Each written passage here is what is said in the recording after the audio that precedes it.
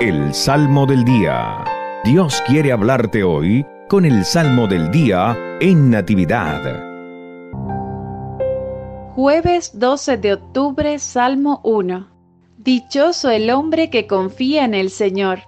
Dichoso aquel que no se guía por mundanos criterios, que no anda en malos pasos ni se burla del bueno, que ama la ley de Dios y se goza en cumplir sus mandamientos.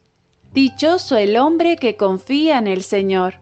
Es como un árbol plantado junto al río, que da fruto a su tiempo y nunca se marchita. En todo tendrá éxito.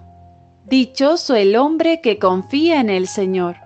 En cambio los malvados serán como la paja barrida por el viento, porque el Señor protege el camino del justo y al malo sus caminos acaban por perderlo.